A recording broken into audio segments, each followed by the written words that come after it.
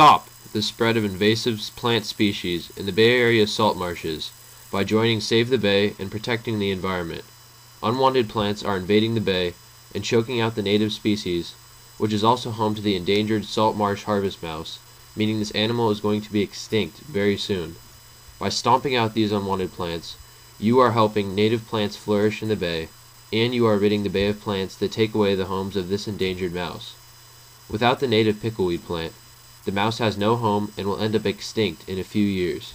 We need you to join Save the Bay and remove unwanted plants from the marshes in order to protect the salt marshes and their animals for years to come. Volunteer now at www.savesfbay.org or call 510 452 9261.